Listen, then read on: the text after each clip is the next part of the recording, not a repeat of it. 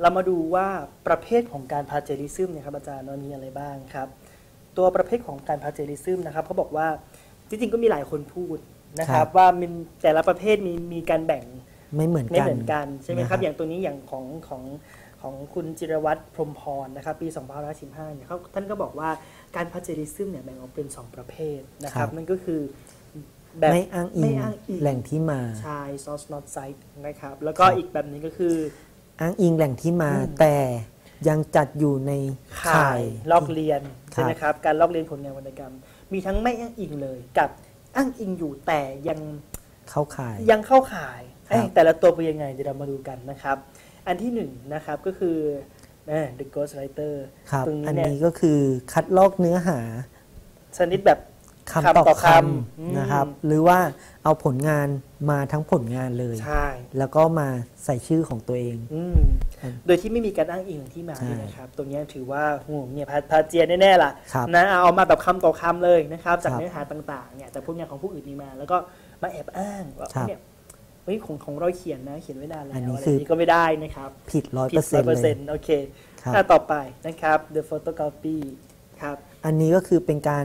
คัดลอกเฉพาะเนื้อหาส่วนที่สำคัญ จากแหล่งข้อมูลเดียวกันนะครับ โดยที่ไม่มีการปรับปรับเปลี่ยนเปลี่ยนหรือแก้คำก็คือ จากสมมุติว่าเขา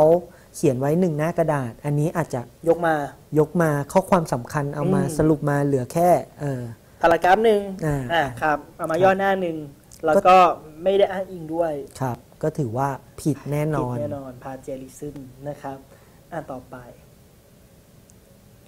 ตัวนี้ก็จะเป็นลักษณะของการคัดลอกจากงานหลายๆ หลายข้อมูลที่แตกต่างกันใช่ไหมครับ มาครับเขียนใหม่โดยที่ปรับเปลี่ยนประโยคใหม่ แต่ยังคงเนื้อหายังคงความหมาย หรือว่า meaning ตรงเนี้ยเอาไว้ของต้นฉบับเอาไว้ครับก็เหมือนกับว่า ของเขาได้เขียนไว้ละครับแล้วเราก็อาจจะมีการปรับเปลี่ยนมีเป็นเล็กน้อย keyword มีเปลี่ยนครับอะอะไรอย่างเงี้ยทำให้มันดูแบบเป็นของเหมือนเราจะต่างเหมือนจะต่าง แต่แต่มันไม่ก็ไม่ได้ต่าต่างงมันมีความนะครับสำคัญของเขาไว้อยู่ นะครับของต้นฉบับว่าอันนี้คือเป็นการพาเจียเหมือนกันนะครับอ่าอะอย่างอย่างเมื่อกี้นะครับคือการคล้ายๆกันก็คือการเปลี่ยนสำนวนในการเขียนเพียงเล็กน้อยเออเหมือนกับว่าเหมือนจะต่างเหมือนกันตรงเนี้ยใช่ไหมครับเปลี่ยนคีย์เปเวิร์ลี่ดยนคีย์เวิร์ดหรือวลีนะครับอืมบางบางช่วงบางตอนแต่ว่าก็ยังเหมือนเหกัมืบอนความหมายก็ยังเป็นตัวนั้นอะเป็นต้นครับฉบับเดิมๆนั่นแหละ ใช่ไหมครับ อันนี้ก็ก็เป็นการพาเจีย labor of license นะครับ license ก็คือใช้เวลาในการปรับเปลี่ยนรูปแบบสำนวนจากผลงานอื่นๆนะครับที่แตกต่างกันมาเขียนใหม่ ให้ดูสอดคล้องเป็นสำนวนเดียวกัน อันนี้ก็ถือว่าเป็นการ plagiarism ครับนะครับตรงเนี้ยอันสุดท้ายก็คือ the sale of stellar นี่คือการคัดลอกผลงานเก่าของตนเองมาส่งใหม่ ก็คล้ายๆกับที่บอกว่าอะไรนะอาจารย์ sell plagiarism นะครับเอออันนี้เอาก็คืองานตัวเองอะมาเขียนใหม่ใช่นะครับส่งไปใหม่ เรื่องเดิมเนี่ยพาเจียแน่ครับๆนะครับ เมื่อกี้เป็นการอ้างอิงแหล่งที่มาที่มาดูว่า อ้างอิงแล้วนะเมื่อกี้ไม่อ้างอิงเลย ต่อไปใช่อ้างอิงแล้วแต่ยังจับอยู่ในขอบข่ายของการลอกเรียนผลงานวรรณกรรมครับตัวเนี้ยเป็นยังไผิดอยู่ยังผิดอยู่นะครับอุตสาหะอิงเลยนะไม่ผิดแล้วคิดว่าครับไม่ผิดแล้วแต่ยังผิดอยู่ก็คือเป็นยังไงอะเป็นอันยัที่งไงหนึ่งครับก็ก็คืคืออ the forgotten footnote อืมอันนี้ก็คือเป็นการอ้างอิง แต่ชื่อผู้แต่งครับนะครับ แต่ปกปิดข้อข้อมูลของแหล่งที่มาของของเอเอกกสาสารรต้นฉบับนะครับเอ๊ะตัวนี้เป็นยังไงฮะอาจารย์ก็คือเขาอาจจะใส่ชื่อผู้แต่งไว้อะมีชื่อพศไว้แต่ข้างในคือไว้ให้ให้ไม่ครบนะครับใช่ไหมครับไม่ได้ให้ชื่อเอ่อเอ่อวารวาสารสารชื่อหนังสือที่มาปีปีอะไรอะไรอย่างงี้ปีพศอะไรอย่างเงี้ยอาจจะให้ไม่ครบตรงเนี้ยเหมันกับพยายามปกปิดว่าไม่ให้ไปค้นต่ออ่าหรือให้ทุกคนไม่เจอให้คนไม่เจออะไรอย่างเงี้ยเป็นตัวครับนี้ก็ถือว่าเป็นการเข้าข่ายของ ของการคัดลอกวรรณกรรมนะครับ อันที่สองนะครับ misinformer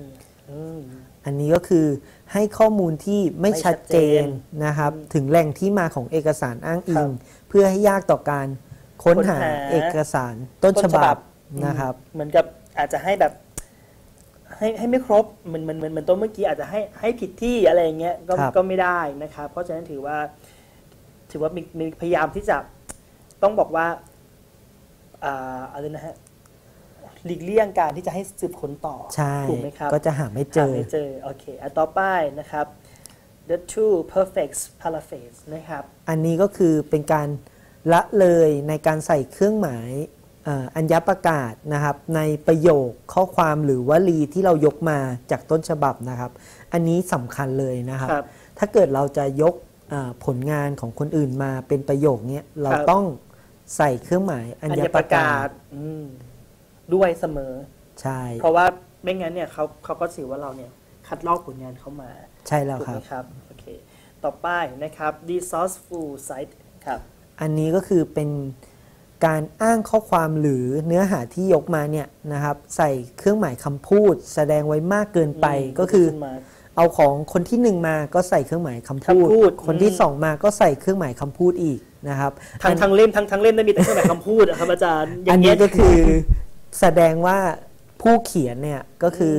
ไม่ได้ไม่ได้มีอ่าผลงานของตัวเองเลยมีแต่ขาไปดเอาของเขามาใช่แล้วเรียครับบเรียงเฉยๆแต่นี้ก็ถือว่าเข้าข่ายในการลอกเลียนวรรณกรรมเช่นเดียวกันนะคครัรับบอันต่อไปนะครับ the perfect crime ก็นะคคืรับออืมมีการอ้างอิงเลยที่มาถูกต้องในบางส่วนของเนื้อหาแต่ตรงสรุปนะครับอาจารย์ เป็นเอาไงของครับเขามาเลยอืมอย่างเงี้ยไม่ถูกไม่นะครับถูกใช่ไหมครับครับเพราะอะไรฮะอาจารย์ อันนี้ก็คือว่าอ่าเหมือนเหมือนกับว่าสมมติว่าอะมันอะความหมายความหมายของการเรียนรู้คนที่หนึ่งอืมพูดอย่างนี้คนที่สองพูดอย่างนี้คนที่สามพูดอย่างนี้แล้วก็จะมีเขาเขาก็จะสรุปของเขา แต่บางเอิญเราเอาสรุปของเขานำมาเลยอ๋อใช่อย่างแล้วเงี้ยครับนี่ถือว่าเป็นการพาเจียที่เพราะเพราะว่าเราไม่ได้อ้างอิง แต่ถ้าเราเอาสรุปตัวนั้นมาเราควรจะอ้างอิงว่า ไอ้ตัวสรุปตัวนั้นน่ะเล่มนั้นน่ะใครเป็นคนเขียน ใครเป็นคนใช่สรุปควรจะอ้างอิงตรงนี้ด้วยนะครับ ตัวนี้ถือว่าเป็นการ perfect crime นะครับ อันนี้ก็จะเป็นเอ่อการต้องบอกว่าเป็นประเภทใช่ไหมครับใช่ทั้งสองประเภทตรงเนี้ยที่ที่ที่ที่ได้อ่าเรียบเรียงของมาจากจากคุณจิรวัตรพรหมพรนะครับว่าว่ามีกี่ประเภทสองประเภทที่มันมีหลายประเภททีนี้มาดูว่าคนอื่นๆที่เขาพูดถึงประเภทของของพาเจริซึม Plagiarism เป็นยังไงนะครับในคลิปต่อไป